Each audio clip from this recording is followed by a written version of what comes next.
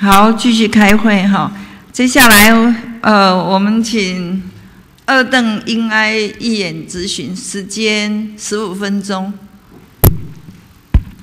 呃，谢谢主席，还有我们公务部门的团队哈。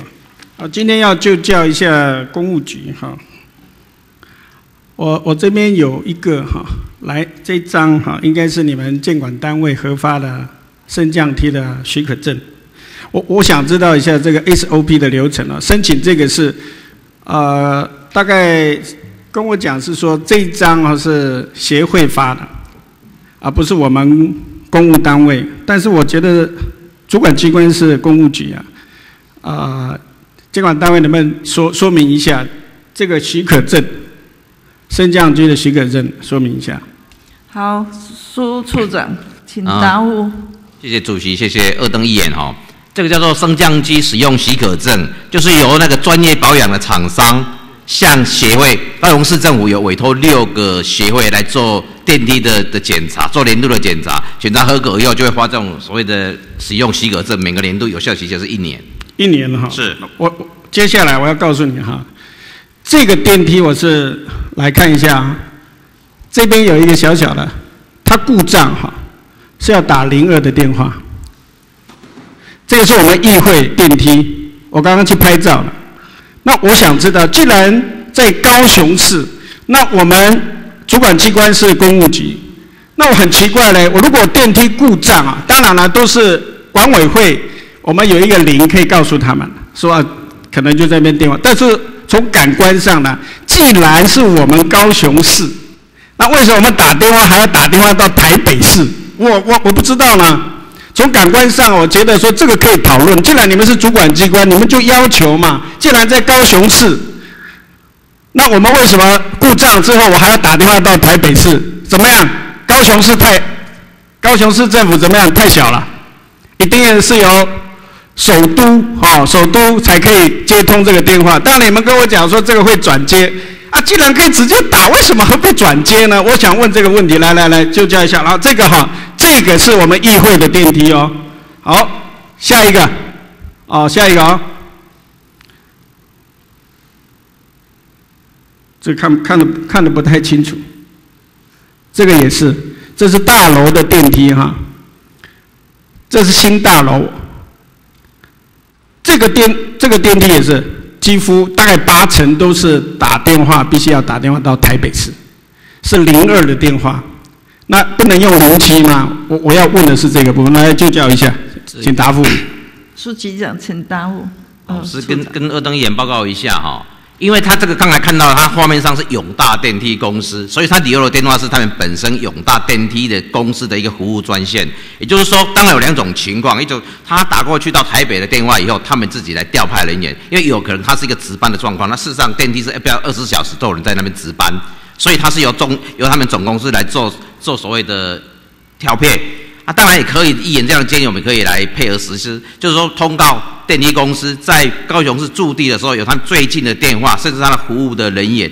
当然，刚好说明过，因为服务人员可能本身他是一个值班的，所以那个电话基本上他是是一个不是固定的啊。所以很多的公司的方式是有采取有台北总公司，只要你打电话过去，就是零八零这样的概念，他就会去指派啊就近，或是谁是值班的，他去做就近的一个紧急的救援，是这样子的。所以啊，我说啊，万一有紧急的状况，我还要先打电话到台北，由台台北来派高雄的值班人员。那你没有办法直接吗？直接就高雄市，他照理来讲，既然是我们主管机关来管，我刚刚讲的这个部分，你们可以控管了，你们可以来做宣导，就是啊，既然电梯总共是我没有意见，在台北没有意见了，那我们管线。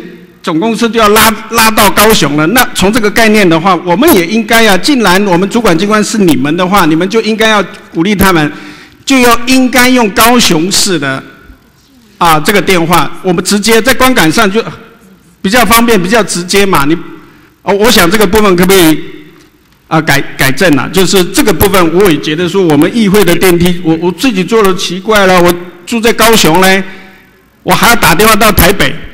我我觉得在观感上啊，这个这个我值得值得我们讨论啊。那我也是希望说，这个部分我们虽然是小细节，我觉得是蛮重要的。啊电梯故障了。当然我刚刚讲过，就是啊大厦管理委员会他们也有一个紧急铃，但是有些时候电话哈，真的直接在我们当地还是最好的。这个可可不可以改改善？好，议员这个建议很好，我们朝这个方向来努力。OK 啊，那就那就希望能够在近期哈，所有新盖的大楼，我我们有几千栋嘛，都应该是以高雄市为主啊，好不好？好。那接下来哈，请坐。那接下来我要问的是新工处哈，大概就是按照原住民工作保障法的第十二条啊，他说依采依政府采购法得标之厂商，以国内员工总数人数一一百人者哈，应。履约期间雇佣原住民啊，其人数不得一低总人数的百分之一啦。我我想这个部分我们工程这么多，到底我们的这个这个部分我们有没有禁用原住民？因为我们讲的这个部分是要促进原住民就业哈。到底我们我们自己公务部门我们有没有履履行这个原住民工作保障法的这种合约？来来就教一下新工处。黄处长，请答复。是，呃，谢谢主席，呃，谢谢尔登议员哈。那有关那个原住民禁用的这个部分，我们目前是按照采购法的规定都有在执行。那要是说他那个人数，呃，未达那个百分之一的话，那也会按照采购法的规定缴纳那个代金。那你知道吗？我们的，比如说我们今年度大概总工程有多少？呃，不好意思，那个议员，我我我没有统计，我是不是会后提供给议员这样？大约吧，你至少至少至少有一些简单的数据吧。因为因为呃，工程它是滚动的，就是说有的案子它可能呃陆近期陆续在花包，所以就是说可能有一个有一个 day night 这样 OK 好，嘿，那你们有没有缴过代金呢？有，啊是啊，是，那就是。他没有禁用到，你们就会被被罚嘛？那代金大概有多少？代金的部分，呃，我我我我我，因为没有经过统计，我不敢随便跟你回答。嘿，是啊，对，所以我的意思是说，其实其实促进就业哈，大概大概我们市府也也有这样的责任啊，就是说我们照顾弱势的部分哈。那我们既然有采购，那采购他就必须禁用。啊，原民的部分，我我只是想说，其实原民的朋友啊，他如果可以承揽，当然是最好。那他他就可以禁用我们自己同胞。那我们之所以我会提，是因为有些时候大的工程我们没有办法承揽到。那至少说在这个就业的部分，我我想说，我们做我们公务部门。既然有这样的法令，我们就按这个法令。我也觉得是很可惜的，用用代金去处理。有些时候大家不愿意哦，不愿意找严严民朋友的话，他宁可罚代金，他就是不愿意找。我这部分我们会鼓励厂商，也督促厂商，就是尽量禁用这一个原住民为主。不过原则上啊，哈，呃，我的我的概念里面是禁用的人数比缴纳代金来的多。目前的性工处的情况。希望是这样子啦，哦，就说这个这个部分，我们也也盼望是说，在新工处里面呢，有很多的工程哈，也也希望说按照这个啊原住民的工作保障法啊这个合约哈这个条例来协助我们原民同胞，因为我们我相信呢，这个只是一个很简单的，他们只是希望有一个就业机会。那从政府的角度，我们也希望能够促进就业啊。那也希望说，在未来你们的工程里头，那就像你说的，你会把啊这个数据也麻烦一下，你们统计看看。我也想需要啊这个数据，也让我们知道说，到底你们啊是不是真的按这个原住民工作保障法来做，好不好？好，好，哦，好，请坐。谢谢。那接下来呢，要问养工处了。哦，处长，我们也谢谢，就是在过去赵处长他。做处长的时候啊，特别也照顾严民，就是清扫公园这个部分。那我也听到说，最近你们之前也也想要说把把这个承揽外包哈，用统包的方式啊，这个方法也不是很好。我最近也看报纸，前应该是前几个月了，就说哇，你五五公顷的公园就一个人扫啊，报纸登了，但是不是事实我不知道了。那我是希望是说，在这个部分同样的，在促进就业的这个部分，也希望啊你们也能够啊照顾弱势的这个部分，也能够把原民纳纳入在里面。我知道你们有放进去了，那可是最近呢，好像大的放掉了，变成给他小的，哦，造成有很多的啊民怨呐。那这个部分，呃，处长能不能承诺说，你你们在这个部分看怎么样促进就业的部分，能够帮助我们原民同胞了？吴处长，请当户。呃，谢谢主席，好，谢谢议员。我们阳光处每一年有至少两件专门针对原住民的投标资格，我们有限制是要原住民的投标资格来做我们的公园清洁，有有两件。那如果说是修剪树木，修剪树木的话，如果我们会严拟哦，因为它还是要有一些专业的证照啊，所以这个部分要。要要不要要不要有一些让原住民的的那个公司，他们也是要要在讨论，因为我们不能说因为原住民来标就一些规定专业证照就就就不包含，这样也这样也会失去那个专业性。那至于一般除草除草的话，就是它就比较没有专业证照问题。那以目前来讲，今年两个我知道议员议员谈到，其中有。有一件哦，就是因为因为有有一家公司，他一直一直他他的那个资格，一直他的文件一直都没有符合啊，所以后来我们就采取公开，因为本来是要找对就是对方来议价，那因为他一直资格都没办法符合，所以我们就只只好再再去找其他的原住民的合作社啊，这部分今年也都发出去了，那未来未来我们会再注意这一这一类，就是提早。在年底的时候，我们会会把现在有在相关的一些跟原住民一些合作社，去跟他们去再讨论一下，哦，他们本身来投标的时候有有没有什么样的，就是我们这边有需要协助的地方，哦，我们会再来讨论一下。呃，就像处长讲的，他大概你们可能他有一些没有证照，按照你们的相关的规定，他也很困难拿得到。如果说他有办法找得到，我我相信有一些条件，当然我不是说。哦，要放宽到什么样的程度？那至少说他也有这些专业，但是他可能没有这个证照。那有没有可能用其他的方法，就是协力厂商能够协助他们的部分？如果他们愿意的话，那至少说你在修剪树木的这个部分，如果他们没有这些工具，但是他们呃可以跟他们合作的话，这有何不可啦？那我我是觉得说，我们如果你统包给大厂商之后，真的。我们会失去那个照顾弱势的这个这个原则啦，因为你大大厂商如果整个包去，他最后还是找他们。那我也相信说，过去你们把这些委外，他们找的这些委外的公司找的这些工作同仁，也都是弱势的。那倒不如说，我们有有也有这一批，那你很清楚是说，我们原民也有这个啊合作社，他们其实。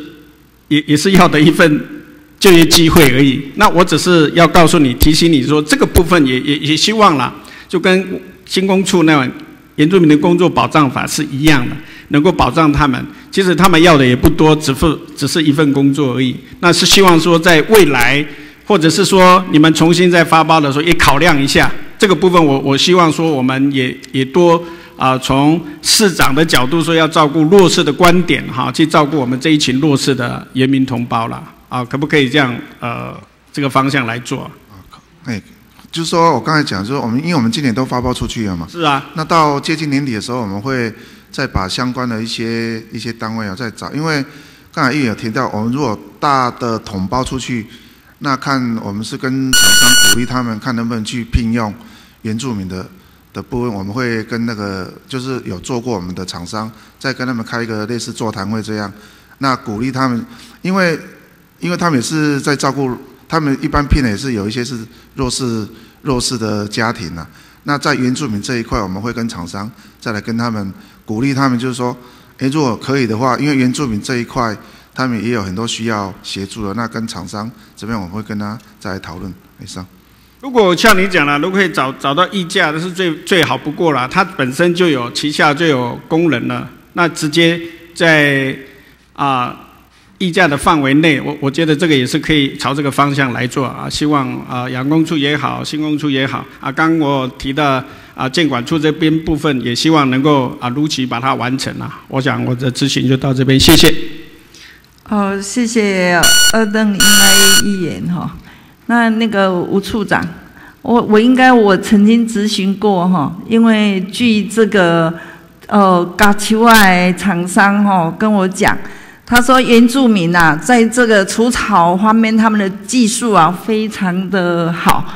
那他们希望就是说，能减速的跟除草的能够分开合约，就是说，我们可以直接找原住民呐，他们让他们有机会啊来标这个工程，然后由他们的原住民呐去呃做这一件事情，一定会做得很好。”那你们可以考虑一下，怎么帮忙他们，能够让他们可以哈，呃，有一个呃，去自己有一个公司，然后去承包这样的一件工程，来给原住民有一个更好的一个就业机会了哈。我我我也在这里做这样子的一个建议哈。那接下来我们请伊斯坦大。哦，对，对不起。呃，接下来是李博义李议员咨询哦，时间十五分钟，对不起，博义。别别别，哎，主席谢谢哈，感谢啊，辛苦主席，那也辛苦我们今天公务部门的同仁一起来到现场哈。那从上一个会期，其实呃，我也是很感谢我们现在目前三三位局长哈，你们过去都是在局里最重要的嗯主管，不管是主秘或者是副局长还是养工处长。那你们现在都贵为局长，在你们的任期内，还有市长到二零一八年的十二月的任期内，呃，你们可以为高雄市做的城市的规划的硬体的设施，可以在这还有两年七个月里面可以完成的。那我想每一天我们都必须要把握时间。那刚刚呃，我的议员的同仁哈，我的前辈，他已经担任四四任议员，那。他对我们拆除大队的这些指教，我认为他他是他是已经议员的前辈哈，他也不会胡乱指控。但是拆除大队可能你也会有你想要说的话，我看看你刚刚还没有完全完成哈。哎，主席，我可可不可以请拆除大队长把他刚刚的话讲完？好，哦，我们现在请拆除大队的薛呃大队长哈来答复。谢谢主席，还有谢谢李议员哦。有关刚才林远的一个咨询内容里面指控说违建大队是大违建这一部分，首先我要澄清，这现现有违建大队的建筑都领有合法的使用执照。那要讲这个开始，这个原拆除大队的使用是在原来作为护理洗浴所，再有国民就业辅导所使用。那拆除大队在八十年左右进驻以后，对于现况的一些建筑面积，这并没有做任何的增建行为。以上报告，谢谢。那使用分分区的部分，能不能请都发局李局长跟财务大队这边看这个市政府的部分可以怎么样处理？李局长，请答复。那个，啊，谢谢主席，谢谢李议员。那就现在使用分区来讲是公园，那不过在主大队那边的史照来讲，好像有一点落差。那所以我们这个有一些可能早期的历史因素，我们再去厘清。好，谢谢李局长，请坐。我想。把事实讲出来之后，哈，赶快跟哦我们林议员做一个说说明，哈，大家都是为了这个城市的进步。那其实这个呃使用分区是公园，跟我在上一个会期咨询的内容，就是要点亮公园，在公园里面做这种自偿性，这有可能可以来维护这个公园的这些呃费用的这些建设，是是同同一套道理，哈。那除了这一套道理，除了这一套想法之外，那我们可以在呃其他市政府的公共建设里面，可以多找多找出一些资源，来让市政府这些公共建设日后的维护有有有一点收入哈。我想这我们可能还是勉励公务部门继续朝这个方向来迈进。那我今天咨询的重点会放在我们呃左营的新台十七线上面。那新台十七线哈，这个这个呃。这条路大家讲了很久哈，从我十年前进市政府服务，当时的呃，现在在台北市担任副市长的林清荣，当时我们的呃督发局长，他就拿着一张一张呃简报图哦进来市长室，那把这一个新台十七线的这一个这一条规划简单的画出来。当然，市政府画出来之后，他我们要经过跟国防部的协调。那跟国防部的协调，也就协调了这十年，在民进党还在执政期间，在二零零七年的呃二零零七零八年期间，我们都有看到曙光，但零八年之后就没有了。更严重的就是说，在今年二零一六年一月二十八，也就是在总统大选以后，国防部长高广兴他谈呃国防部的未来，他最担心什么？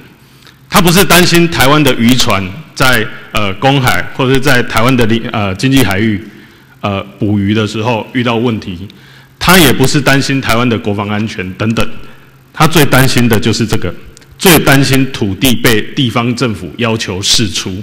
各位，我们现在拼的建设不是在跟市民呃，不只是在跟时间赛跑，我们包含对中央。的这些呃部会的协调，才是我们最呃可能要花费花费最多力气，呃花费最最多力气去跟他们协调。国国要卸任的国防部长最担心的就是你地方政府来跟我要土地，我不管你是要来做什么，我不管来各位。新台十七线，我们目前规划的这条路线。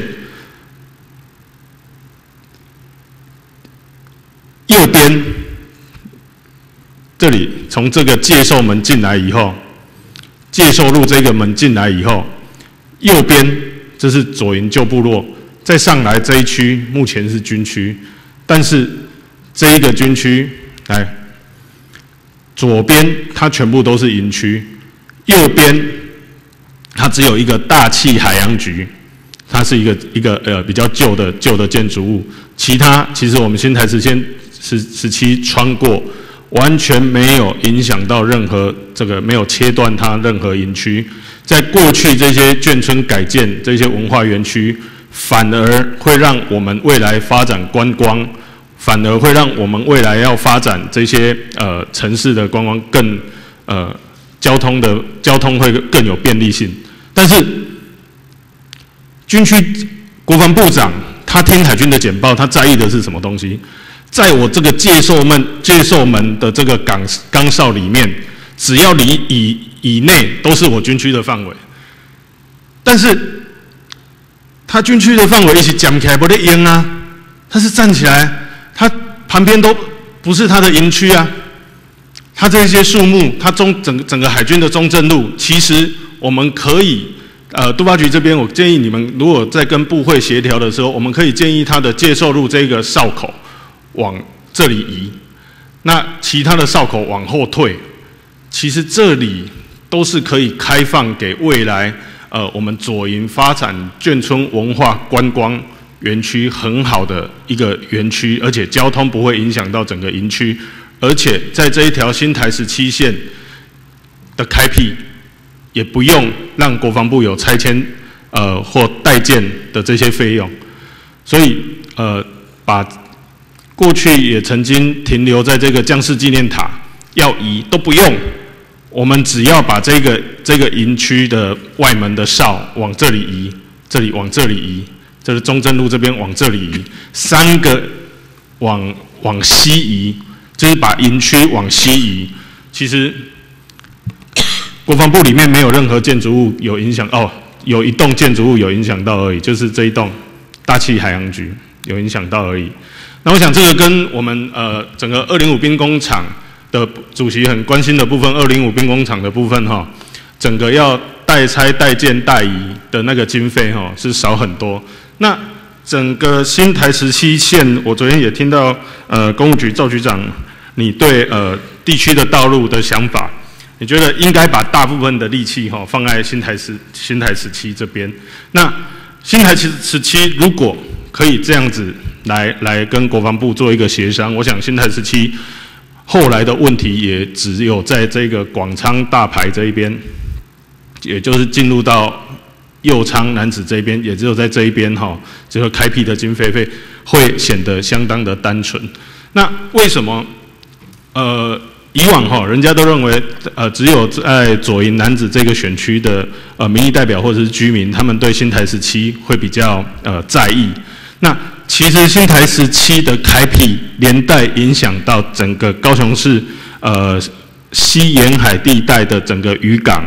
渔港观光啊，从紫关、弥陀啊、嘎丁亚这边下来的交通会变得比较顺利，那也会弥补到高雄市从民国九十年以来哈，高雄地区、高雄都会区的快速道路系统，呃，因为当时那包括时代演变到现在哈，我想等一下也请教杜发局长的意见，对于快速道路的新建，在市区快速道路的新建，您的看法是怎样？那如果继续没有这种市区快速道路的新建，哈，那这一条新台十七线，它刚好可以弥补到整个高雄市西部的交通、西部纵贯的交通的这些呃便利性。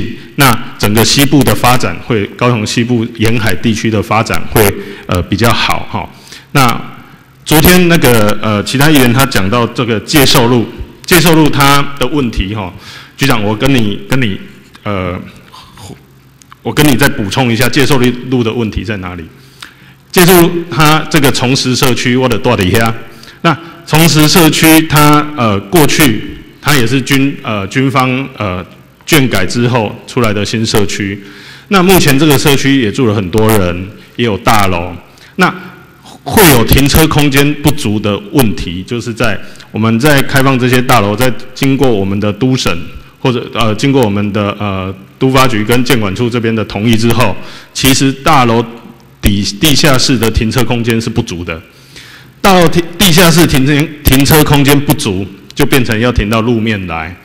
那当地的里长就有建议，这个介收路哈，你原本只有两有两个车道，那你的慢车道这边是不是在增加这些呃路边停车格？那问题就出来了，你这这个呃公车它要经过的时候，机车的空间就很小，看起来就会很危险，所以会有必须呃会有去会呃跟养工处这边去会勘，其实这个围墙以外的地方还是高雄市政府的土地，那这个建议可以拓宽。那我是建议哈，呃不一定拓宽，但是为了这一个停画出来的停车格，然后影响到这个停车安全，其实。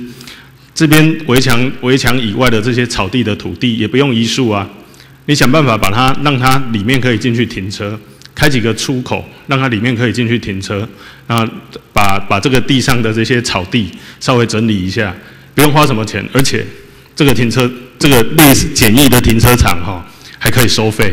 目前整个介寿路上的这个停车空间是没有收费的，所以。整个问题其实跟整个都发跟整个公务都是有有一些连带关系。我们可以用最省钱的方式，然后做到让行车也安全，做到让那个呃社区的居民也可以接受的的方式来来做哈。那这个等一下可想要听一下局长的看法。那第二个哈，我讲要讲呃我们国道十号的问题哈。呃，今年初我还打电话去。立委的办公室啊，去请托呃国道十号这个延伸线哈，到高雄市区这一段，为什么为什么路这么不好？为什么哦我要往西行到翠华路的时候，为什么路这么败哦？啊，是不是立委在这跟交通部争取说国道十号我们这些呃东西向的这些快速道路哈不要收费的时候，所以交通部摆烂就不帮我们修哈？结果。交呃，立委才跟我说，其实那一段叫做高雄都会区快速道路系统的第一期开发，所以从文字路到呃左营高铁站那个高架，还有到翠华路这边，其实是你们高雄市政府必须要维护的道路。哦，我听了也吓一跳哈。那所以在呃，其实东向。东向还好，就是我们要上这个十号这一段是还好，路面是还还还可以的。但是西向就是我们要下翠华，跟我们要到那个呃高铁站这一段哈，其实也建议呃公务局这边是不是呃也可以跟交通部争取看看，那如果真的争取不到，那市政府是不是也应该来做这一方这这一面道路的这些刨铺？哎，等一下也请公务局呃赵局长一起做一个回应哈。那第三个，呃，公务局这边养工处这边我还有一点建议哈，我跟你们去会看了好多地方好多次哈。那我听到一句话就是说，呃，先进国家的这个人行道都是有都没有做这个坡度的哈。因为你们不会有那个车子会往上来、会停上来的问题。那其实这个东西跟台湾的这个机车很多的特殊性也有关系哈。我们为了防止机车上来，所以我们往往坡度做得很大。但是其实我在推婴儿车的时候，我碰到这个坡度，我也会觉得不友善。所以你同时在防堵机车的时候，请你是不是也考虑有很多这种？爸爸妈妈们哈，要推着婴儿车行路，各地安呢，呃，爬起爬落这样子的问题哈，这个请呃未来处长这边也多这方面也多加用心。那请公务局长。呃，赵局长，请答复。哎，谢谢主席，谢谢李议员哈。有关新台十七线的部分哦，他们共是让南高雄到北高雄或北高雄到南高雄重要南北的交通要道。所以哈，我们对这个道路、这个新台十七的开辟哦，相当相当的重视啊。那其实这个开辟的工程哦，在我们公务局这边已经都完全、已经都设计 OK 了，就等金方的土地无偿使用，还有我们也计划纳入我们内政部营建署的生活圈里面哈来办理。另外，头多给完的工借售路两侧绿地的部分哈。那这方面要来做一个停车，要来做一个简易的铺平，啊，这个我们会跟交通局来合作，就到现场来勘察一下。如果两侧的铺平，就是那个可能钱也不多，跟开辟的钱是完全不一样的，两两边的钱是不一，不两开辟跟简易的铺平两边的金额哈相差很大，所以我们跟交通局哦来现场会看看如何来布设停车格。另外，头多起完的讲的，就是讲让大中二路为文字路到翠华路这个部分。啊，这个部分其实我们跟交通部这边，其实它有一个分界点，就是在文字路为分界点，在以往南的部分是由我们公务局养工处来做一个维护管理。啊，头多起完的真关心，就是讲人这段路无平，啊，事实确实也无平。你也家己有开车过，拢空空安尼空空空空。啊，这个部分我们在今年度，我们也有筹款要来做一个爬坡的动作。哎，以上。请再给两分钟。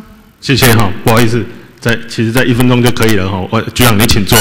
哎，呃，谢谢你正面的回应哈。我想就是我们要用最省钱，而且又可以解决根本问题的方式来处理这个借收路这个。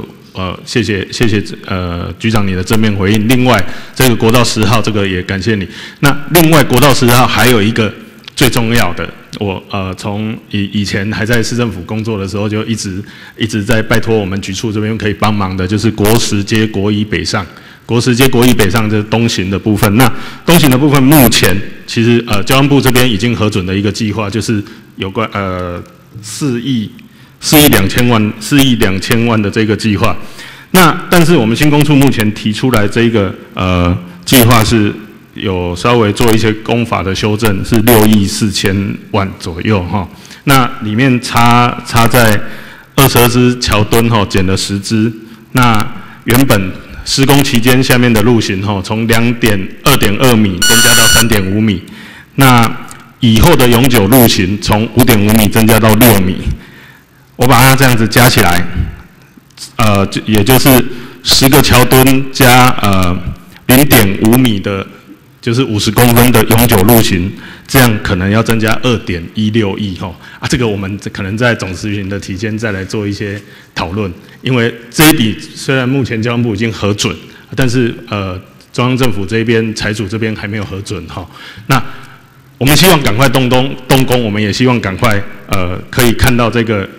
我们呃左营这边要上高速公路，不用再下大中路，呃这一条路确实是必要的，但是怎么样可以用最节节省的方式，然后又可以赶快动工，这是我们期待的。嘿，这个总咨询期间再跟局长这边做一个讨教，谢谢。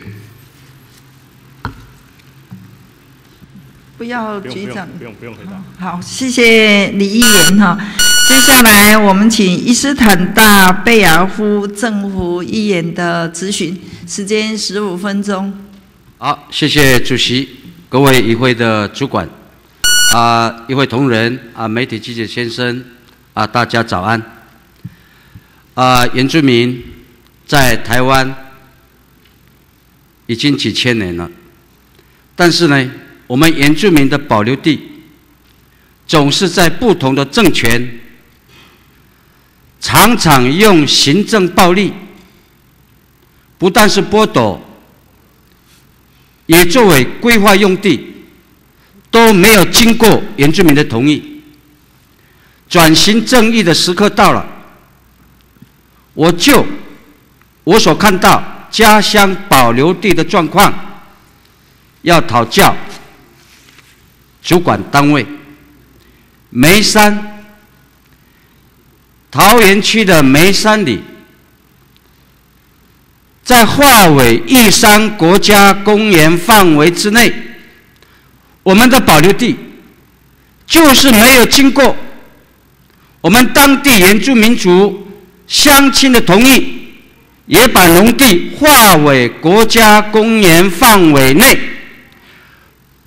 造成我们农地使用的权利。受到公园法的法令限制，不断的送到法院。一百零一年，我曾经啊带过我们的乡亲到内政部的营建署，他们正在召开五年一次的检讨会。我拜托当时候的审查委员放手。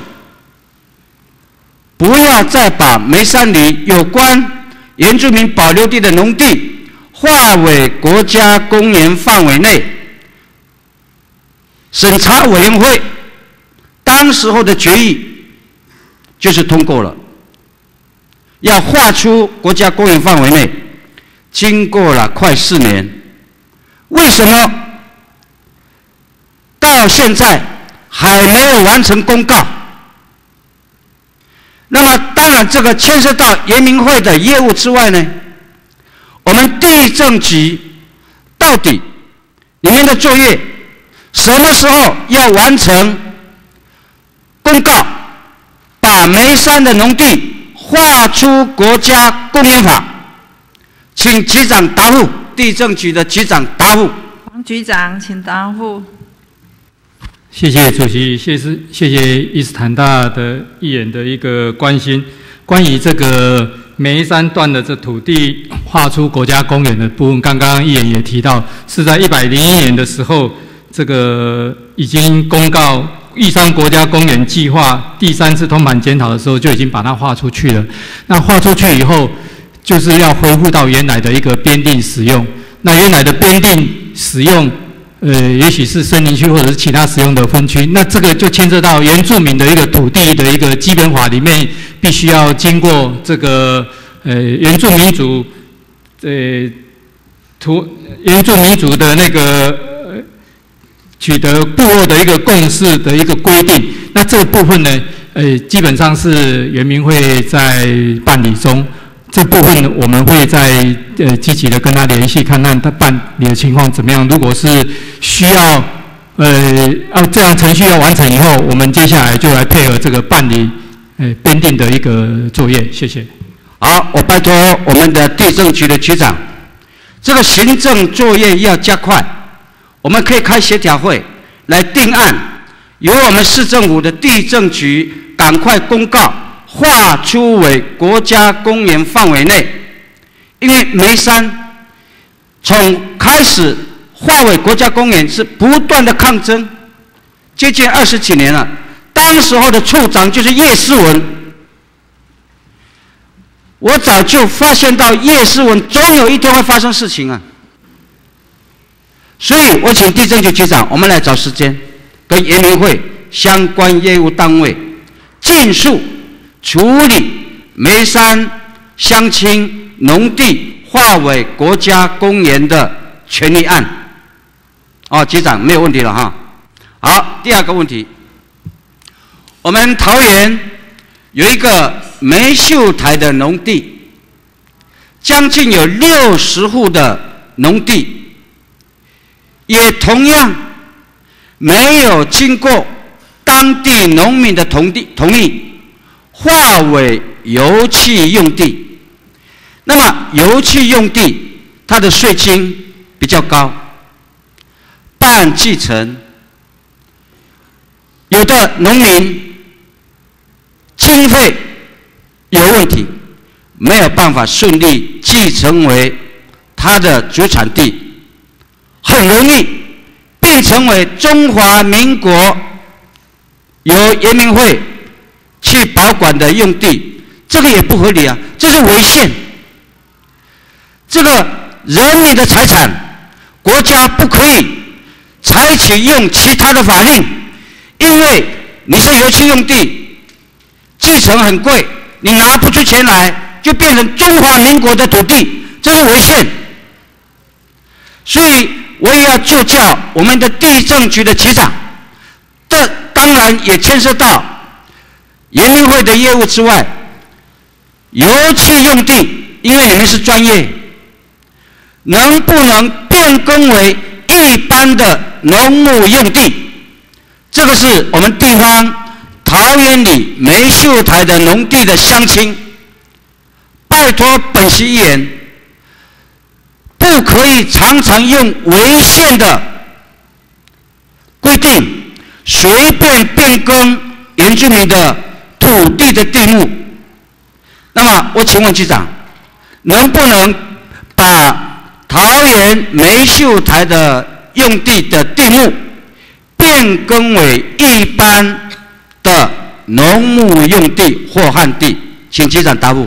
黄局长，请答复。谢谢主席，谢谢伊斯坦大议员的一个指教。关于这个美台地梅秀台美秀台秀美美秀台地美秀地美秀台地啊哈，这个这个部分。它因为是靠近这个少年溪这个风景区，所以当时在编定的时候就列为这个风景区的油气用地。油气用地。那如果说这个地方如果要变更编定的话，那就必须要循着变更编定的一个程序来办理，就是要拟定这个新办事业计划，然后践行五五呃大概五十几种的一个呃一一类呃。就是征询各个机关的这个意见以后，都都没有问题，才有办法来办理这个变更的一个编定。啊，所以如果说呃这个部分呃看我们怎么样来协助，我们倒是愿意去协助这些我们的原住民同胞来看怎么样来处理这样的一个问题哈。谢谢。好，请坐。因为原住民的基本法也有相关的规定。原住民的保留地，你要变更为其他事业用地的计划，就必须要经过原住民的咨询同意。而这个案件，原住民就是不同意啊。所以我希望地震局局长跟相关业务单位协助，把桃园里梅秀台农地的原住民的农地。能够变更为一般的农牧用地，局长有没有问题？谢谢主席，谢谢伊唐大爷，我们来努力看看呐，哎，好不好？因为现在少年溪在八八风灾之后，整个环境都改变了。原住民当时不同意做油气用地，啊，现在转型正义的时代来临了。该尊重原住民的意愿，不要再编，不要再用油气用地的地目。那局长，你听到本席意见了？有听到了？我了解。好，请坐。还有一个问题，八八风灾之前，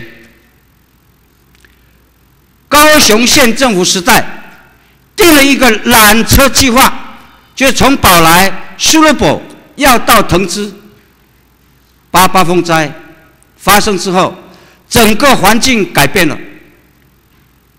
我上次有咨询过我们的观光局的局长，缆车计划还要不要做？他的答复是：因为环境改变了，已经没有必要再腾资做缆车的计划。当时候为了取得缆车计划的用地，就把我们桃园区所有的保留地划为六规六规区的行政区域。当时候的乡长就是高秀琴，当时候的秘书就是我们现任的区长谢英雄区长，这是罪人呐！但是呢，既然没有做缆车计划，我们的乡亲认为保留地应该要还给我们桃园区的区公所。请问地政局的局长？这样的案件，因为也牵涉到民政局、人民会，当时候为了缆车计划，把我们原住民的保留地，包括正山部落，包括高中的乐乐段，包括苏洛堡的原住民的保留地，能不能还给我们桃园区公所？有这些被列归区。应该要作为缆车计划的原住民的保留地，可不可以还归还给我们原住民的区公所去管理？局长，请答复。黄局长，请答复。谢谢主席，谢谢伊斯坦大爷。这个这个部分，这个问题呢，涉及到这个行政区的一个划分的问题，我们再来跟这个民政局那边了解看看，因为这个部分，呃。不是我地震局所管辖的范围，但是我愿意跟这个民政局这边、跟严明会这边来了解看看，再跟议员做一个报告，好不好？好，请坐。对这个牵涉到是剥夺原住民保留地的一个行政处理，这个也是违宪，所以希望地震局局长，我们找时间跟相关业务单位协调，该如何。把原住民的保留地归还给我们桃园区公所去管理，哦。再过来，我要谈建地。很奇怪，我们台湾原住民是台湾的主人，我们住在部落里面，从日据时代到现在，我们房舍的驻地都不是建地。中华民国政府到底搞什么东西呀？日据时代，我们的住家，日本人就把它当建地。中华民国政府到了台湾，在现有的部落、现有房舍的基地，就不是建地，改为建地的地目，有困难吗？局长，请答复一下，这个问题真的有困难吗？改为建地有困难吗？黄局长，请答复。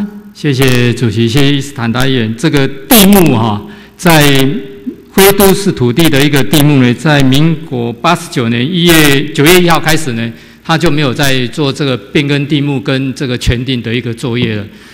啊，所以如果你要改成要改成建地的话，他现在已经都不不做这样的一个全定，他是依照徽都市土地使用的编定的使用地的类别下去管制，跟这个。诶，利用就是依照徽都市土地使用编定的类别，在作为这个管制跟利用的一个依据。它现在地目的部分已经没有再用了，已经八十九年九月一号以后就不再全定了。好，请坐。那这样公平吗？这是非常不公平的，这个是违宪。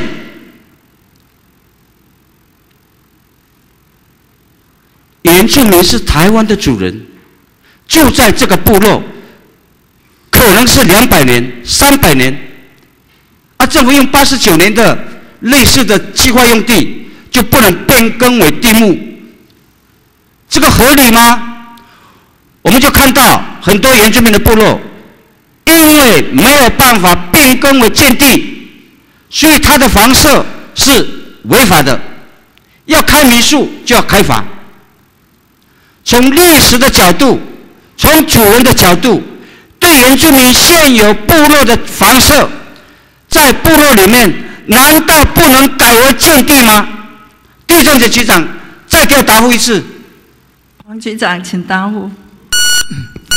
刚刚也跟这个呃议员报告，就说现在是要看他使用的一个使用地、使用地的一个种类来作为利用跟管制的一个呃依据嘛。那现在如果说他是呃需要变更为这个可以做建筑使用的一个用地的话，那就是循着这个更正的一个程序来办理啊。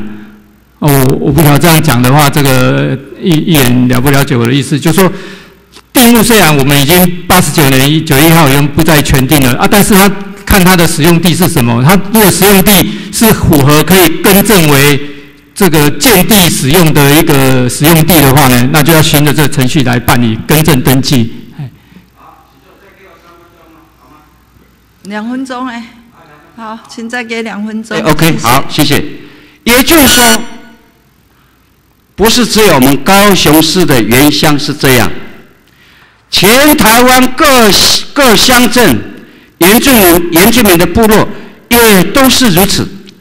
那我们高雄市政府是不是可以突破其他的方式，来解决原住民现有部落内是在部落内哦，现有的房舍的基地是不是可以变更为建地？所以我希望局长。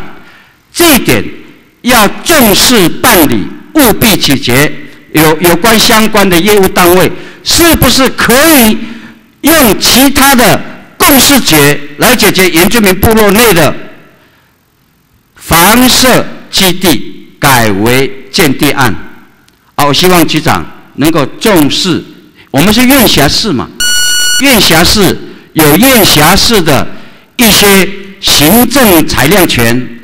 因为你可以根据原住民基本法相关规定尊重我们的意愿，难道一个主人住的房子都不是建地？那我们是什么？我们不是中华民国的国民吗？所以这个就是违宪，不合理。好，下一个议题，美浓有一个竹子门，前面已经你们已经完成了一座桥梁。那后半段往原住民的部分有一座桥梁，它是既有现有的桥梁，失修多年，也危险。我们也办过会刊，那么根据公务局的计划经费是两百。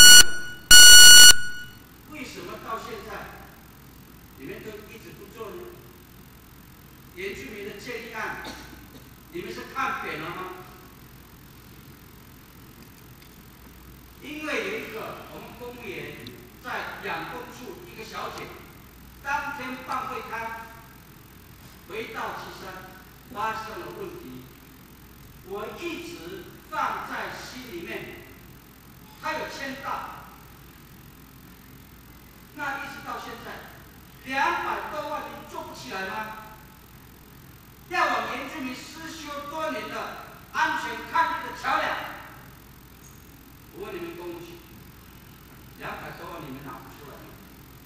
那我看到以后的一眼，跟你们咨询，这边起地，这边起地，那原居民的建议案，公共局为什么到现在都还没有处理这个案件？请到。呃，你要请谁？哦，那个黄处长，请答复。呃，谢谢主席，谢谢伊斯坦大议员。那个阻止门桥的这一个部分哦，呃，在上次的议员的关心的时候，呃，也跟议员报告，就是说在这条路上的西侧。在发电厂的西侧那边也正在办一座桥梁，所以议员这边是首肯，就是说那边的桥梁完成之后再过来办这一个案子。那目前科室里面的现刊，呃，回来是说，呃，道路跟桥梁衔接的部分，道路的路宽目前也是二点五米，那要是说要把桥梁拓宽成三点五米的话，那道路的部分我是有要求科室这边再重新估算，是不是一并来办理拓宽？那经费额度能够容纳的情形之下，我们新工处会去处理。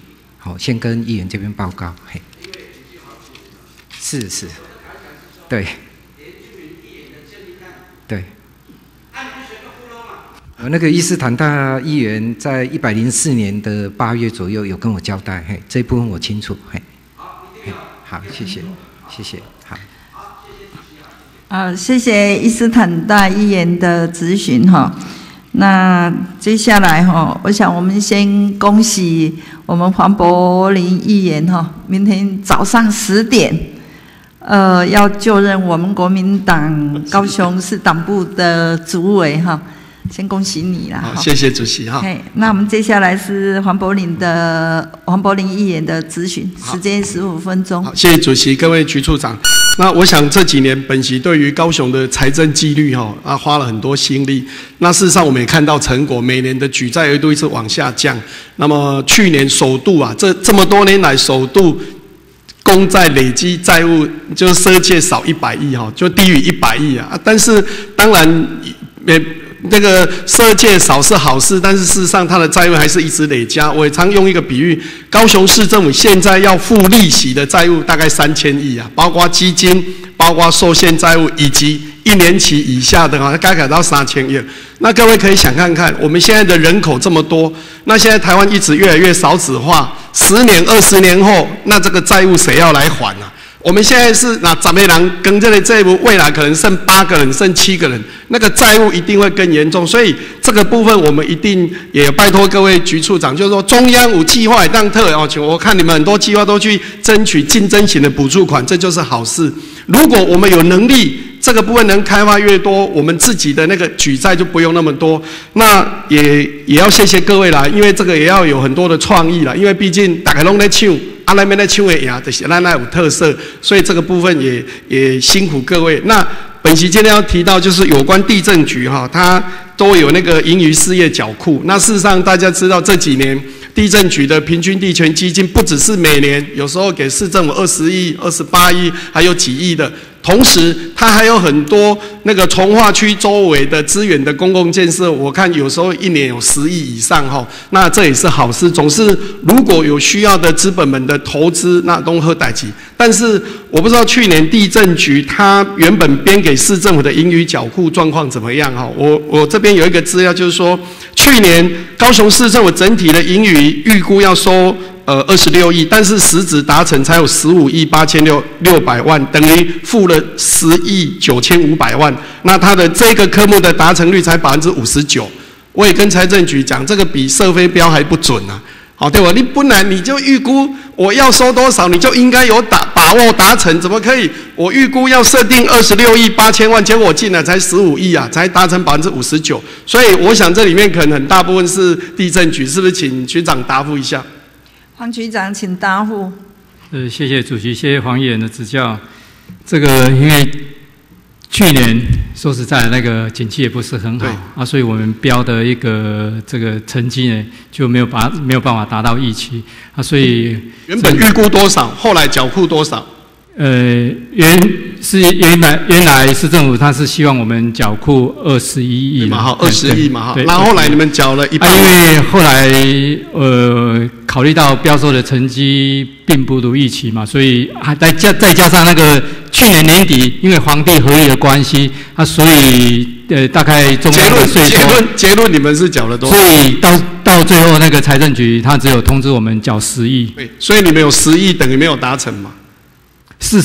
少缴啦，少缴，没错，因为他其他的费用已经可以来补足这样的一个。长，你请坐。那我就希望说，你请坐。我希望说，你们每年编多少，你就有能力达成多少。如果你没有能力达成，就不要编这么多啊。那如果这样，我就编五十亿就好啦。我国在的这税入啊，外边税出开开，反正年底的并证并证再举债就可以了，这样是不对的哈。为什么？因为过去我们就是。虚列我们可能会收入的，那我今年就正式在这里跟你讲，如果你明年没有办法达成多少，你就不要编那么多。我觉得这这是一个这个你看，你人家达成率都百分之九十几，只有你们这个科目百分之五十九，这是不对的啦。我希望你们要对你们的负责任，那你也要敢向上面说 no 啊。如果你没有能力，你老公跟起就后，摊做这里边啊，我干嘛这是喝歹气？但是做不到的，我希望要谨慎啊。你要考虑今年你能到底，你还能卖多少啊？如果景气，持续低迷，你们可能没卖那么多。那我希望这个数字要精确，好不好？哦，这本席我也跟财政小组的招伟跟他提过，我希望你们所有的目标跟达成率之间应该要那个 link 差个五 percent 合理呀，但是差四十 percent 那就太不专业了哈。这个部分，那接着呃，我也要拜托公务局哈，就有关这个果菜市场的那个扩建。那事实上，我们三明区就两个，一个是果菜市场，一个屠宰场。那当然，市长都希望他任内尽能给他完成，因为果菜市场他现在我们市府的规划是在北侧要盖，就把那个拍卖场等等移到北侧，然后地下室做滞洪池嘛，哈，这都喝代级，因为本席这六七年啦，或者一底拢在供这啦，哈，这喝代级，然后路把它打通，石泉路接觉民路，然后年底先打通一侧嘛，哈，先一侧单向。那东河代起五折都进步，那我希望要能贯彻，因为我知道上面还是有很多有很多原住户啦、占用户啦、什么户很多都还在。那你们这边写十月要要动工，那我当然乐观其成，我蛮希望他跟了一折。那在这里我也第一个要拜托就公务局就尽速这个，如果能如期，那当然最好。那我也要拜托都发局，就是它的北侧，我们整个宝珠沟啊，就沿着就就觉民路过大顺路一底盖平走喽，这端还有很多农业区。那这个农业区，我们在都市内事实上已经没有农业功能了哈。那市政府应该也要主动去整理一下，看它的使用应该是怎么样啊？不能说农博郎申请，那的棒底下。那个根本都没有办法，他们要种田，要自己挖水井呐，啊不，不不灌溉用渠啊，啊，家里哦，家里底下做深水井，底下灌溉这样好像也不对，而且你想想看哦，接着我们把拍卖场这个往北侧移以后，两年后完成，然后整个石泉路啊，对不起，那个石泉路那个觉民路打通，你看这个地方就会变得。相对很繁荣，不像以前呢。哎，都不朗啊，我们很少人路过那里。那北侧这个农业区那几公顷，我们就应该要有一点规划。那这个部分，来请都发局长，是不是赶快把它列入一个想法？我们趁现在还有时间，想一下那个地方应该怎么样让它会更有价值。来，请李局长，请答复。啊，谢谢主席，谢谢黄议员。那这这个是刚议员提提到是宝珠沟附近有三块农业区嘛？那应该是所谓的农二十六。对。那之前并不是说没有没有想法或没有规划啦。那之前我确实是在八十几年，八十八还八十九那个时候有曾经有提出这样子的变更想法。好，那后来因为地主之间大家有不不非常分歧、非常歧异的看法，所以后来的才是就是说让他先维持农业区。那也是二十年前的事了。诶，八十几现在一零五了，八十八十八对对，所以时代已经在进步了，是不是？你们。沿着你们的要进这个部分，把它列入你们的工作计划。不过这个农业区的部分，我想我有之前已经有跟议员讨论过，跟议员说明过了。农业区以现在的氛围，就是都市计划区内的农业区哈，诶，各方的意见看法不一样。那很多人是认为是把它当成是都市的扩充地区跟环，啊，有些人是认为说啊，都市计划区换农业区有它一定的的功能啊，希望能够不只是在那个农业生产哦自给自足的概念之下，或是缓冲。那个地方根本不可能做农业 生产使用。我我只是跟议员 我知道，就是各方的看法。你看在实用性啊，那个范围那么小，而且没有水源。我几个议员共了几，我们在实务上在审议上，就是起码把它放入个案子，让狂狂来研究，因为。你刚刚讲是二十年前，已经二十年有很大的变化，光我们三明区的变化也很大了，好不好？这个部分你们再研究，列入一个案子，好不好？好，请坐。那公务局这边就等一下，还有另外一个就是呃一并回答，就是那个本管路哈，局长那个本管路，现在我们合并以后，你看本管路就是从凤山这边的青年路一直到高速公路哦交界，这整个本本管路事实上你哪一个亏哈，那路宽都无讲。然后都没有好好的整理。事实上，一条路大概也拢会塌车，因为哦，它的路宽不一致，那当然景观当然不好，那整个交通也不好。我在交通部门咨询交通局说：“阿林没去经历以后，那我们也没有开路的能力啊。”所以一点啊，还是要回到公务局这边。所以我拜托局长或者新工处长跟交通局去去，我们我们去现场看一下。这一条路应该怎么改善？第一个，我们当然让它更便利，然后交通更好。第二个，啊，马虎卡水耶，因为哦，你要修几条路，而且你要甲主席报个者。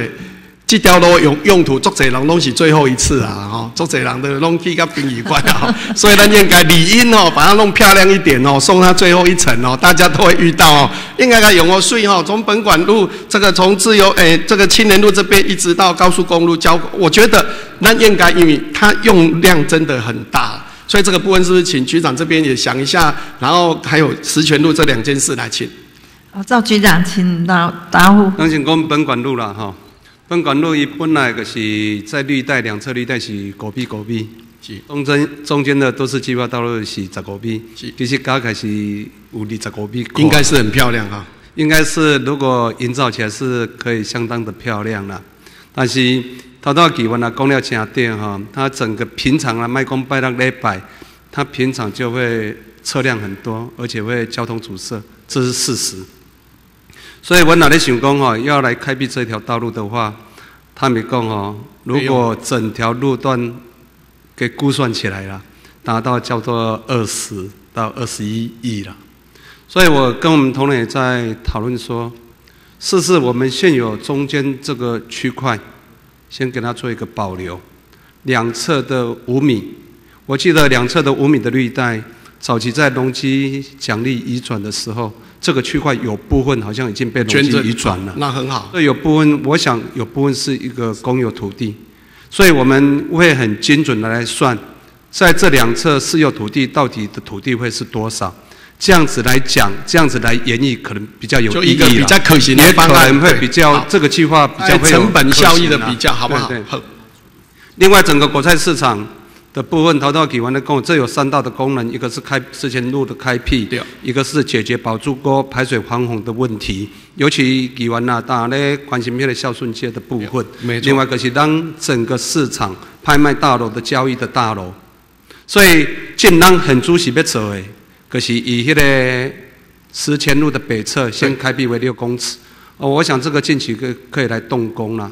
所以整个预算，诶，我记得整个预算是十亿九千万左右，这是蛮大的投资啦。我想这部分我们已经在进行细部设计的部分。那当然细部设计，我们也跟会跟农业局这边，还有一些就是工会这边，看他们的需求是不是符合他们的需求。所以这边都 OK 的话，我想这个进度会很快。谢谢，好，局长请坐。那最后三分钟，我要跟大家谈这个人。我不知道各位有没有看过这个赖散。千年之约哈，那么就是台中有一个人，他过去花了三十一年，花了二十亿，然后在大雪山的林场种了三十多万棵树。那我很荣幸哈，上个礼拜五我去到林场去哈，他自己开辟的路，自己在林场内要超过二十公里，然后那个水管，因为种树要水管哈，要爱压水哈，光水管园区就超过四十公里。啊，我以前没在，以龙爱户籍啊，所以那个累积起来就知道。那我要跟大家谈一个观念，就是说种树啊，种树救地球啊。那在座刚好也有大地主、地震局啊，哈，然后都花局哈，然后公务局，你们未来都很可能在这地方。事实上，我在四年前应美国邀请到那个纽约市访问的时候，他们就是个 one billion 的是十十年百万百万棵树的计划。事实上，这个赖赏说种树哈是一本万利啊，哈，没拔缸了。免免劳劳健保啦吼，啊天天涨停板，逐工吼，迄个雨天探五十啊，啊大热天探二五，逐工拢是探的吼。那种树一个好处是，伊若挖起来，你拢免甲管，每天都会长大吼，不像那个木材吼，一个你也欢乐脱水，你知我可以撩起。啊，这个地方就是说，它有很多好处可以固碳。事实上，你发现如果树木种很多的地方，它的水土保持、它的水的含量以及当地的氛围，一定都会更好。那就像我们常常去森林里面，你干嘛？喂，五分多金五黑的金鹤，所以这个赖赏它就是一个梦哦，花了三十年，那个很难想象一个人每天要开一个多小时，从台中的家开到大雪山去种八小时的树，然后再开一个多小时回家，安尼三十年，三十年。不过他跟我更正三十一年，诶，非非常精准哈。后面打开报告，那我们身在公部门，我们怎么去推动一些有益于后代？我常常讲，我们做了很多的所谓的资本投资，做了很多的硬体建设，是不是符合未来所需要的？那如果不是我们只是徒增很多的文字馆，徒增了很多未来的管理维护，事实上大家也知道，我们的公部门的预算一定会越来越少，我们的固定成本越来越多。我也跟大家，我长期有在追踪高雄的财政，过去我们一年资本没有二十五 percent，去年只剩下十十四到十五 percent，未来一定会更少。如果二十年后，我给大家报告哦，还高雄要纳税一点足少的。啊，那随便做些啊，咱的负责这些啊，那边那运作，所以现代应该也要努力去做啊。我也拜托各位局处长，还有各位同仁，在你们全港如果有机会多种树，要多鼓励企业多种树，然后我们自己要带头。事实上，我跟陈市长讲的那一年，隔一年他在三三月十二号就办一个。植树的活动在凤山，我忘了哪一个公园，我也有去。那我觉得这是好事，我也希望公部门能够带领更多的市民、爱心企业多种树。种树只要种越多啊，我想对我们的整个气候又可以固碳，又可以做很多的好处哈。那我想这是一个好的代志。啊，咱当然那么期待高雄快让出到一个赖上安尼吼，足认真哦。啊，改业财产哦，我们可以来整，不过这可遇不可求，未来还是要靠社会企业来运作了哈。那这总是一个好事，我觉得刚好趁这个机会跟各位有相关来改变这几的推广了哈。那再次，好，谢谢黄柏林黄议员哈。呃，接下来我们先处理时间的问题哈。呃，我们呃执行时间延长，呃向大会报告了哈。我们咨询时间延长到呃周林文议员咨询完毕，我们再行散会。呃，接下来周林文议员咨询哦，时间十五分钟。好，谢谢主席辛苦了。我首先跟公务单位的各位局处长哈，跟各位好朋友来讨论一下。最近这个名词很夯哈。尤其是这个，我们未来的政治上了一篇苦手文以后，引发了全台湾最重要的讨论。大家在讨论所谓的土地正义、转型正义、居住正义，它中间的价值，端看你从哪一个角度去看。我相信他用都根的价值，要让整体社会变更好的价值，引发他发的那个文。但是某一部分为什么还这么多人跳出来？因为我们要捍卫的真正的正义是。现在的时代，我们已经不容许民主政府用他的权力从人民的身上拿走他的房产、土地，打着建设的名号，打着公益的名号，夺取民众的财产。这个是很简单的捍卫自己的土地价值，跟我的居住正义，跟我的土地正义。那么，当然在台湾的发展，跟其实所有的。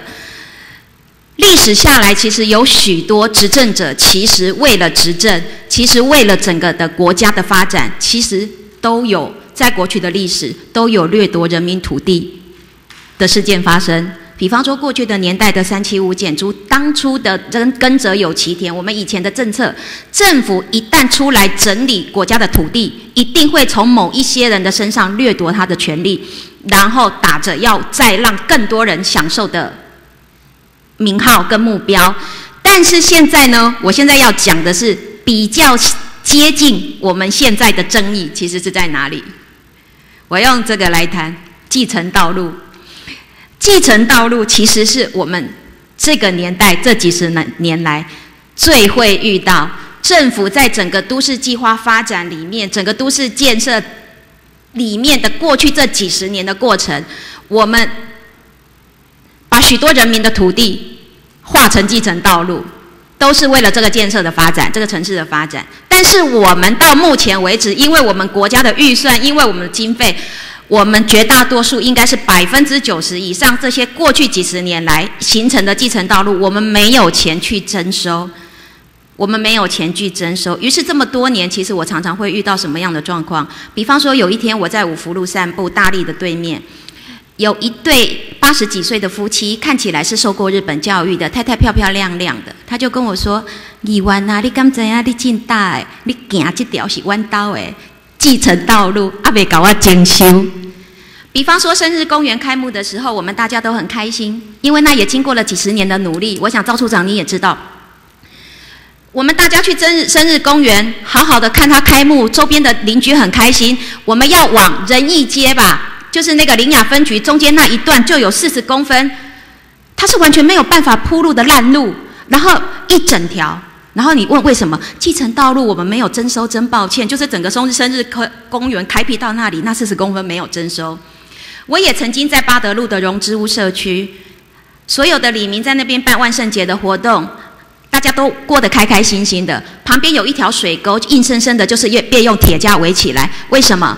整体的环境就那一条，因为继承道路没有征收，而且还有人跑来我旁边跟我说：“这条这条这条是有一个足老的干部叫的公务人员要退休的时阵，伊知影这是继承道路背起来的，将来要等退休后政府甲征收。”好，就是说整个都市的发展其实形成很多这样的状况。OK，但是。我们有限的继承道路的编编列预算，在过去都是往开大马路，比方说北区新的扩宽整条，因为那是最大的效益，也最最大的效益，最少的金额。但是我们的旧社区里面，最常看到的，好，我就这张照片，我想大家都不陌生，离市政府很近。就是最标准的没有征收的继承道路的地主，就在路中间种了一棵树。这个上新闻 N 次了，这么多年来，好处长很认很很熟悉。这个是在县政路的一条道路里面，地主因为一直没有征收，于是他把他自己围起来，让所有的李林也不能经过。那你说，地主真的是愿意这样做吗？我不认为。其实他最大的担心是，如果他没有这样做，大家走久了，他等于这块路就被充公了。那你说这几十年他过得开心吗？他围起来，他每天跟他的邻居经过瞪他，他每天没有办法跟邻居开心的打招呼。你觉得这几十年他们家过得开心吗？一定不开心嘛。我其实今天要谈的是，是不是可以来做一件事？像我们违建都有分类。啊，优先处理，前后顺序是不是？是不是我们来试着？我们也把高雄的旧社区的继继承道路的这一些跟都市发展，其实你刚刚看像刚刚那样子的一条路，周边的房子跟社区老旧都三四十年了，一条道路的整理，它绝对可以扮演这一个社区里面很好的小花的角色。让社区其实再造的一个新功能，所以我想建议是局长，到底是租发局、公务局局长，我们其实是不是真的来做一下继承道路的编列？那比，而且我们公开让大家来排队，我们把我们的优先顺序对社区有帮助的，是真的这一条道路需要开的，我们真的就把预算编出来。然后我们把那个比例的优先顺序排出来，甚至我们也可以在排出我们的分类 A、B、C 三大类之后。我们也可以不一定怎么讲，我们可以让民众他自己自己来。如果你愿意，你不要当钉子户，你不要调管给，你可以自己愿意主动来。如果你是符合第一的，我们公开审核，也不要让所有的民意代表什么谁来讲这两条那两条，我们公开审核过的，明年就是我们征收的重点。那这当中需要有一些地主他自己愿意的配合，那也需要我们公权力。的介入跟我们的分类，是不是这一条道路开辟出来以后，对民众是有帮助？而这个分类里面，其实还有一部分的分类，还有一个分类，也是我今天想要强调的重点。我们其实有一些继承道路或者是私设道路，它已经因为周边的社区开发到，其实这一条路已经不是唯一的通道，已经不是唯一的通道。好，这个照片是。应该是下，我们有一些现有巷道也好，或者是我们的继承道路，它早期是只有这一条道路可以通行，但是因为经过我们的发展，周边的社区的改变，其实它假设它要出门，它的社区已经有三条大路、两条大路可以对外通行了。如果是它已经被两条以上的道路替代的继承道路，我希望我们主动这做一件事，废道，通知他废道。我们把这一类抓出来，其实有一些老上一辈都已经不在。我们把它通知，我们就废到这块土地还给你们。我不要跟你悬在那边，我政府又说你是我的继承道路，我又很抱歉告诉你我没有钱可以跟你征收，但是我是我的建设经费又在周边已经开辟了大路了，这一条这整个社区已经建构完成了，但是你这一条我还是要给你绑着。如果我们的分类里其实有很大的有有很小的一个部比例是这样，我们就做这个大功德。我们通知人家，我们足以废道，我们把可以废道的卡住人家的继承道路也分类起来。这是我几个建议，我想简单的听听公务局局长的看法。赵局长，请答复。谢谢主席哈，谢谢议员哦。以完的讲诶，其实在现有巷道的部分，现有巷道的存废，它是有会道的程序，哦，它里面是有规定快道的程序。至于说继承道路这个部分，目前还没有。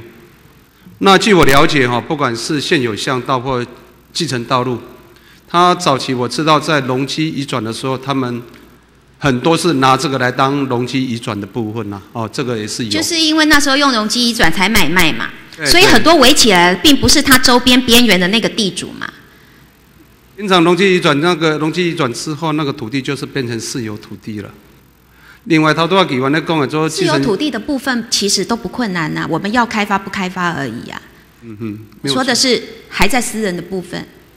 其实刚刚陶大给完的讲诶，说把全高雄市所有区域在里面所编，就是把它现刊为继承道路的部分，把它编号、编序或者序号的部分逐步来解决，这也是一个方式。哎对，那这个优先顺序其实就可以像我讲的，对对旧社区是有贡献的，对继承的道路跟马路的通行是有急迫性的。不管是对这个区块、对社区有贡献，或者是说这个哪一个部分可以优先来处理，我想这个可能大家要集思广益一下，因为有时候这个会，有时候大家如果没有集思广益，可能大家的见解会非常的不一样啊。哎想要排队急着希望你们征收的，都会觉得它是第一优先顺序嘛，对不对？那我的意思就是说，我们自己还是可以有一把尺嘛。如果我自己公单位，我自己在管这个都市建设，我在管道路，我在我自己对社区的营造，我都没有一把尺。那这把尺其实就是来自于公单位嘛，所以我才会希望说，大家开始从现在去思考这个问题。我们在这个分类上跟它的优先顺序做一下，而且并且我希望这个优先顺序出来以后，其实可以把它形成一个政策，在将来我们的继承道路的征收的费用里面的编列的金额，跟它的我们每一年要逐步达成的目标，它要有一个同等的比例。我希望是这样慢慢的，而且在我个人我的意见，当然我相信绝对大家有不同意，在我个人的意见，是以能够改变社区、完全活络社区的新环境这个部分为优先，没有什么，我就认为比没有什么比这个大众值还要更来得高哦。好，那对，还有这个私设通路的部分啊，私设通路跟继承道路是不太一样的，但是某一部分的形式上的意义，比方说在当初先去的人先衰啦。哪边来讲，就是最早来到一个没有人的地方的建商，他其实是倒霉的，因为以前政府没有开路给他嘛，所以他必须在建的时候，他必须自己假设我这个建商，我买了这地，我要盖五户，我必须提拨各多少比例的路出来给你政府，政府才同意给他嘛，给他盖，因为你自己创了一条路，你捐出来私设道路，你自己捐出来供大家通行，你才能够让你盖这些房子嘛。但是一样嘛，经过了三四十年的社区发展，周边的大马路更多了嘛，但是它这里就是私有道，就是私设道路嘛。为什么最近这样的人又出来了？因为彰化有一个地主告赢的政府嘛。彰化最近前一阵子，我不知道你们有没有注意这个新闻，就是也有一个私设道路的地主，他本来都给大家走，走了几十年，大家也不感激他，大家都忘记那是他家给出来的地，给大家走的。于是市政府周边也都开了地了。然后有一天他生气了，反正也没人感激，那可能下一代也觉得要用钱了，就把它围起来，大家才发现发现，行行一家卡低咯，就是走他这边，可能少走少走十步路，然后去走政府开的路，可能要多走十步路，所以呢，社区的民众就去告，就觉得这还是我们的，但是问题是这地主告赢啦，啊，真的就是他家的财产嘛，那当初私私设道路借你们用的嘛。那现在政府已经开了三条路在旁边，你这条路总得还给我嘛？那所以他告赢了嘛？那于是我最近就出现了一两个地主，他们的状况很接近，但是问题是他们卡在我们我们市政府比较聪明啊。我们当初所有的建商要盖房子拿出来的私有道路，我们都有跟那建物绑在一起啊，所以他们现在是要不回去的。但那还是他们的财产啊。好，那我的意思是说，你看，我们其实有很多的政策，到底对民众来讲，他老百姓人民来讲，他到底觉得他公不公平？如果可以解，我都觉得我们就解还给别人，解还给人家，大家都没有损失，解还给人家也是人家应得的。好，这个是，那最后就是高雄错，其实有一个很圆满的解决方案。那这个部分当然还是会有少数极少数的人不满足。那但是我在这边我是想要提哦，以现在这个方案，我个人是支持的。但是过不了门槛的那五趴，过不了的那五趴，如果还在盖，我是不是想请市政府也可以，公务组也可以协助一下？比方说，他是不是可以有办法？假设他盖了十户，然后他这十户就是完全都不符合标准，那我们都心里有数。这样的案子，他十户就是挂。如果他今天是一个缴件商，他就是倒。那如果他还没有卖，我们可不可以有一个方式协助他，让他重新，如果他愿意的话，让他用变更，或者是用什么其他的方式，其实他可以，比方说两户改盖成一户，三户改盖成一户，有助于他的损失降低二分之一。或者降低七分之，或者降低三分之一。如果，因为它一定是原来的建造申请的嘛，它只是实照拿不到嘛，但是它实照拿不到，其实它就是挂嘛，那它也符合不了我们。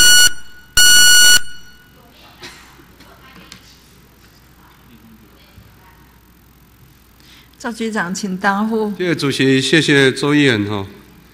诶，头多在讲的现在哈，你。第一，你拿到实照，或者是没有拿到实照，都可以拿按照程序拿进来做一个变更的设计，啊，变更为高雄错。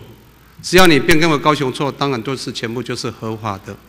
另外，头多几万你咧讲，咱干两间变做一间，重点一对呢，就是讲变成两个两个基地变成一个基地，可是你的建蔽率，你的法定空地是不是足够？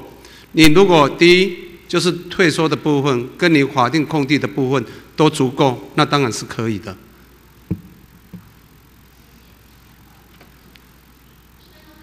好，一分钟，谢谢。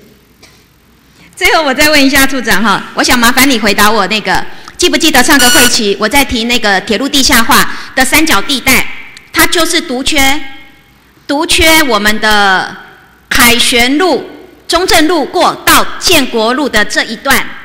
的计划，那谢谢你那时候也紧急召开了会议。那我想知道这一段的计划现在是不是纳进来了？未来是跟着铁路地下化，所有的重整是不是这一块也一起怎么做？好，赵局长，请答复。因为我那真厉害哈，看了真有啦。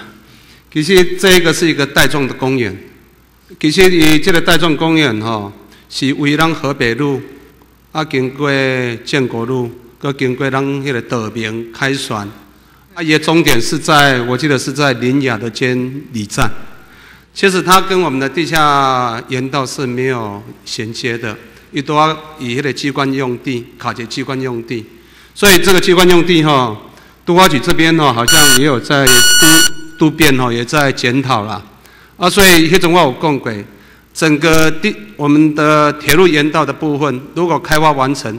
现在刚好是它的支线，啊，这个是没有纳到沿道里面，但是这条区块我是觉得很重要，我们会一并来办理。哎，对。谢谢我们周议员的咨询哈，那我们今天的早上的会议开到这里，啊，下午两点三十分继续开会。